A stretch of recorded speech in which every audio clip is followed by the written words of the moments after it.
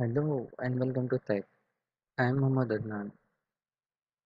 In this video, we are going to demonstrate how to download and install Power BI Report Builder. Let's get started. The download link has given in the description below. Let's go and download the file and if you run the setup, this is the first screen that comes up. So click next to begin the setup. Accept the license, click next and click next and then click install.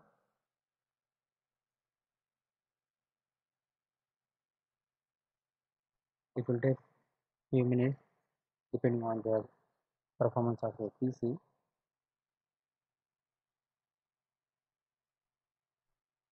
It is released on July 2019.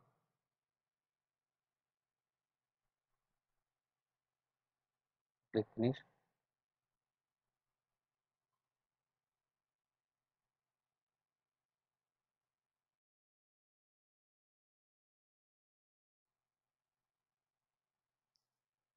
If you want to save this report to your Power BI service, click on the file, click on save as, go to Power BI service. It will load all your workspaces. Click on your workspaces and give this a name paginated 1 click on save and I will save. Paginated report requires a premium workspace. If you like this video, please click on the big thumbs up button and share with your friends and colleagues. Also post your feedback comments in the comment section below.